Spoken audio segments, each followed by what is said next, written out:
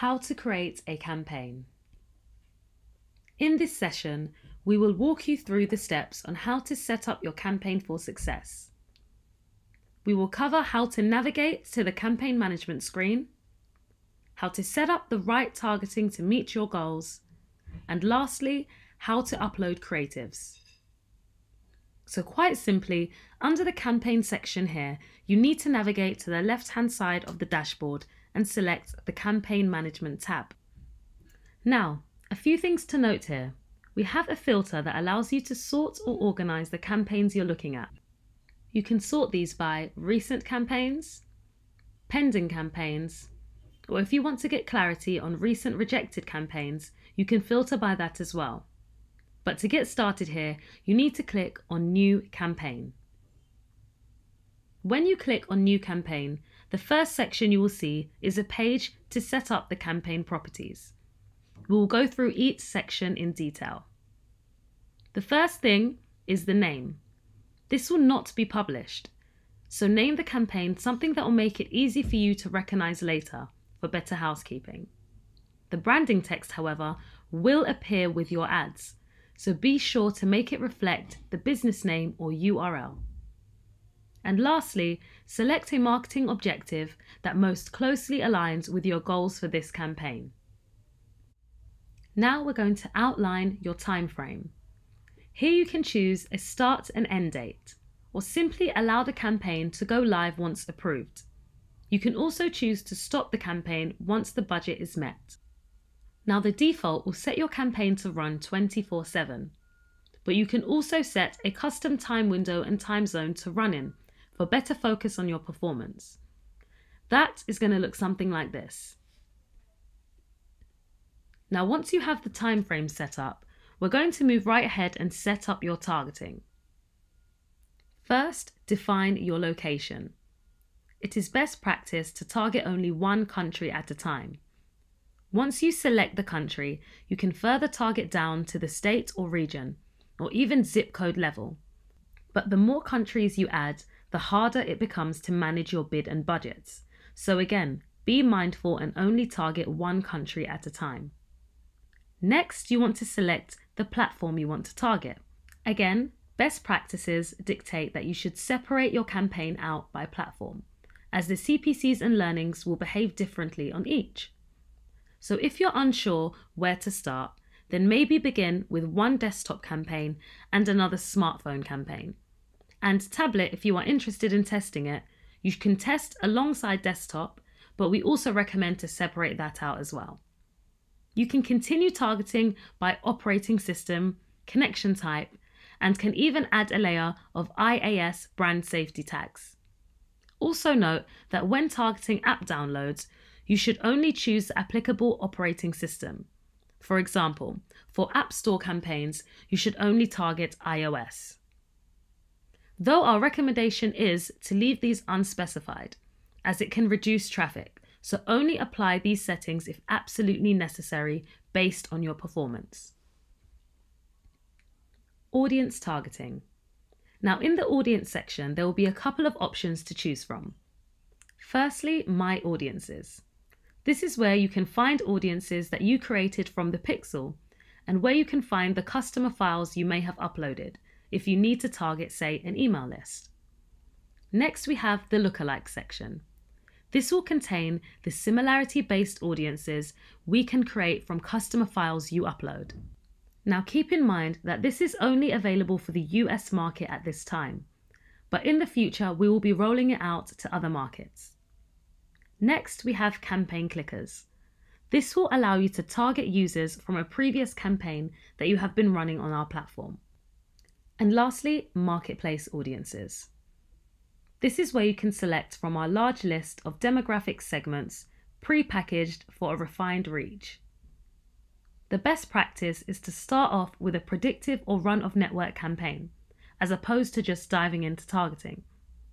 You can use this campaign to gather learnings and also access the Audience Insights report in the By Audience tab of Campaign Summary.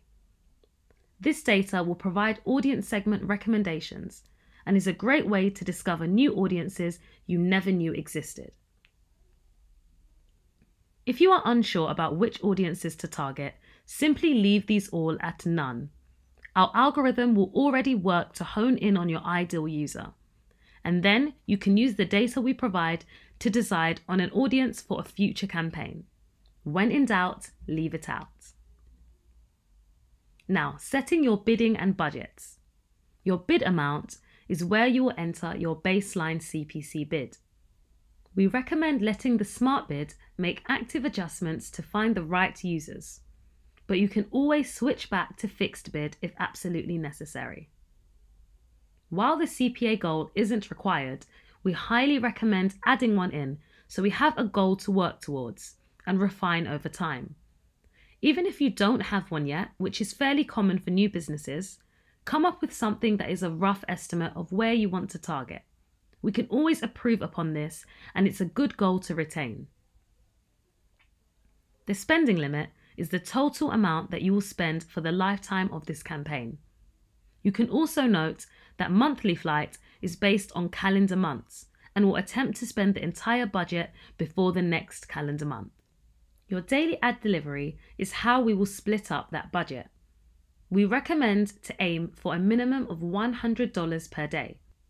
Any less, and you're risking cutting off important learnings that are going to help you optimize your performance.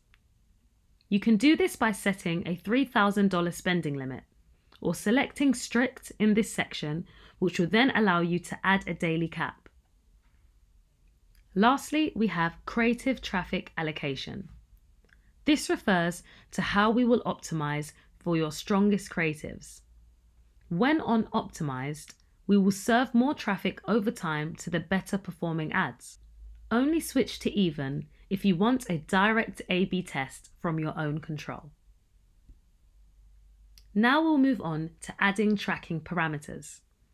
The final section of your campaign setup allows you to add UTM or other tracking parameters to your campaign. The code entered here will automatically append to all the creatives in your campaign. If you would rather track on a creative level, simply erase the content in this field. We have provided defaults so that you can start to pass useful Taboola data into your tracking platform. If you have an impression, viewable impression, or click tags, you can also add them here. Simply click on the Add Tag button and it will give you a field to enter more information. Now, once you have applied the targeting, hit Continue at the bottom and you will be taken to a page to review your targeting.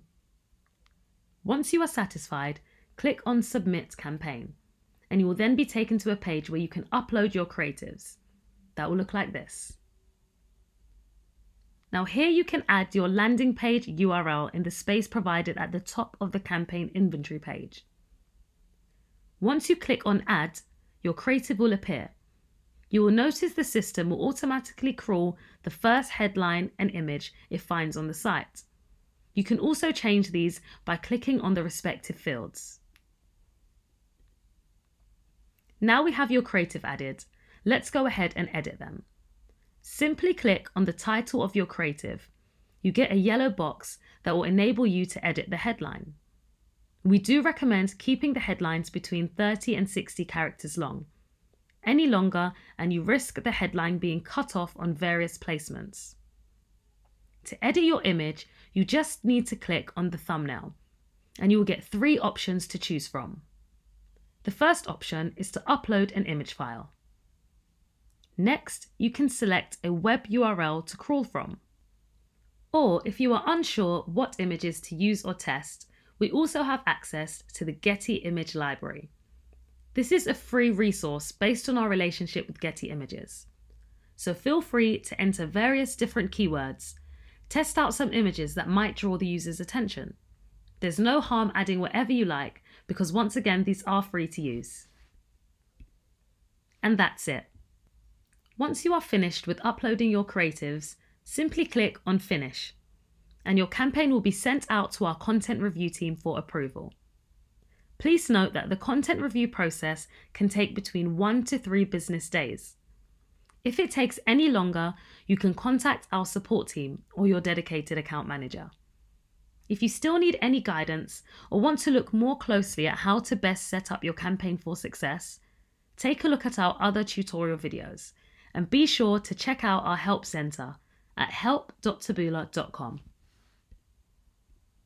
Thank you for listening.